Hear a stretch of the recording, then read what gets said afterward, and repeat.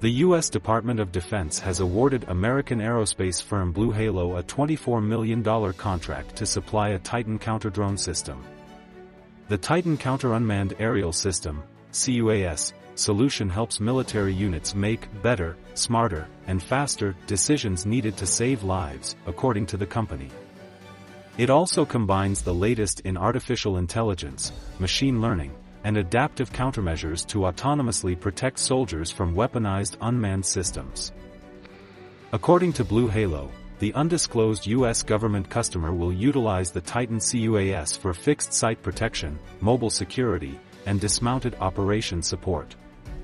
We celebrate another contract award for Titan, not only because it demonstrates the system's superior CUAS force protection but because more frontline soldiers will now have access to an effective tool that will help bring them home safely, BlueHalo official Dan Gillen said.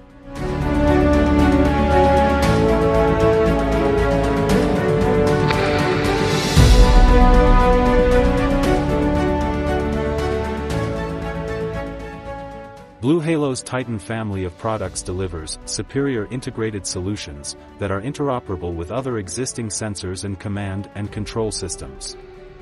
The CUAS system equips operators with immediate situational awareness and force protection on the battlefield in under 5 minutes. Company Chief Executive Officer Jonathan Moneymaker describes the system as an effective force multiplier for military units deployed under challenging conditions.